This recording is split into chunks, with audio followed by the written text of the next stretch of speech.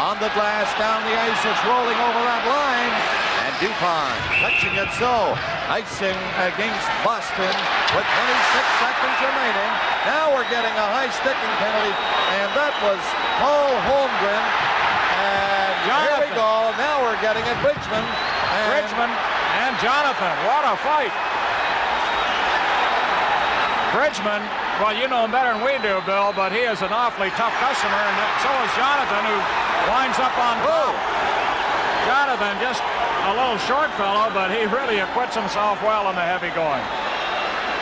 They are two tough customers. Uh, I believe Stan Jonathan gave Moose DuPont a shot that led to the penalty, which I do believe Jonathan is going to receive. And Mel Bridgman stepped in there to give uh, Moose a hand. And as far as me knowing Mel Bridgman very well, the only thing I know about him is that I was traded for him. Well, right now you saw, look, you got to look at DuPont, who is at the Flyer bench. The Flyers calling the referee, John McCauley, over to have a look. He was hurt in that exchange with Stan Jonathan. well, if the referee was being called over, it's probably because uh, DuPont is cut. Let's That see was- how it happened. Here's DuPont going in against the boards. Here comes Jonathan.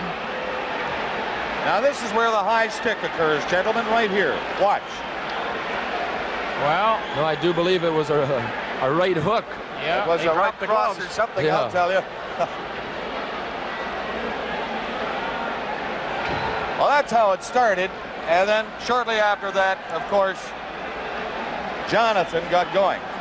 Now, watch this one. Well, here comes Bridgman in from behind the net.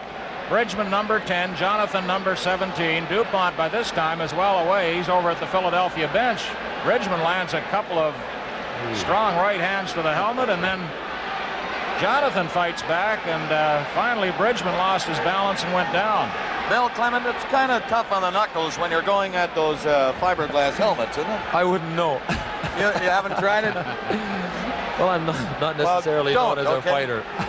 Well, you're a pretty smart hockey player then, Bill.